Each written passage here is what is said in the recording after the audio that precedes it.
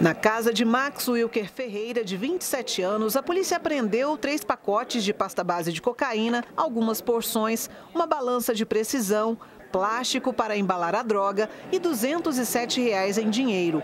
O flagrante aconteceu em uma casa no setor Dom Abel. A polícia chegou até a casa depois de denúncias que o dono estava comercializando entorpecente. A droga estava escondida embaixo do carro do suspeito e no telhado da residência. A partir de então, desde a primeira denúncia, a gente começou a ficar de olho nele, né, observar as ações dele. A gente localizou ele, né?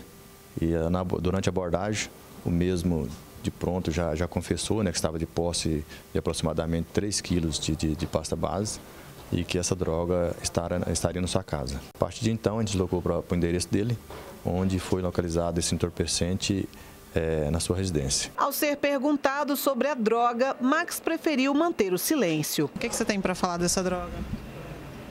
Você não quer dar a sua versão? O que, que você justifica aí para o pessoal? Droga é sua? Como é que é? Vai falar?